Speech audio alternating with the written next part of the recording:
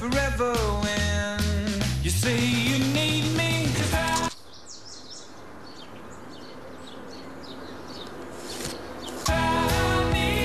With delicious cookie, caramel, and milk chocolate. Twix, one great bar after another. Hi, I'm Joe Gray with the Gojo Hands Free, the only device on earth that's truly hands free. These things are not hands free. You stick them in your ears, gross, but you still have to hold your phone. And these are not legal for hands free driving. The Gojo goes on in one second. Hello? One Mississippi. Hey mom, I can't talk right now. Only the Gojo has both hands free. No batteries, no wires. It makes your phone the hands free device. It's true hands free. It's easy to use, easy to figure out. It's perfect. Freaking awesome. And it works with all phones. Stick the high density suction cup to the back of any phone. Flip phones, cordless phones, even landlines, and pop it off.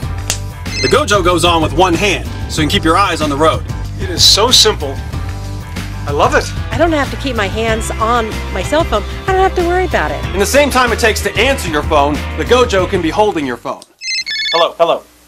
I can Yeah, hey, do that man. right now. Uh, hold I'll on, email you hold right on while I now. put my ear thing. I am typing as we speak. I need two hands to type. Hold on. My office line's ringing. Let me call you back. Okay, bye.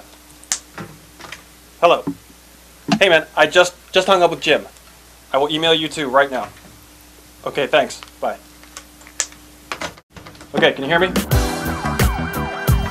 And yes, the Gojo will hold the weight of your phone, even the weight of a five-pound laptop. Any phone, big or small, even the most radical moves won't knock it off. How'd it hold? Successful. Call now and I'll send you two Gojos for just 10 bucks. And I'll throw in my Super Grip mat absolutely free. It grips and holds your phone, music player, or anything else you can think of. Dude, really? Yes, sir, but I want every member of your family to have a Gojo. So call now and I'll double the entire offer. Just pay processing and handling. That's four Gojos and two Super Grip mats for just 10 bucks. Dude, that's awesome. Here's how to order.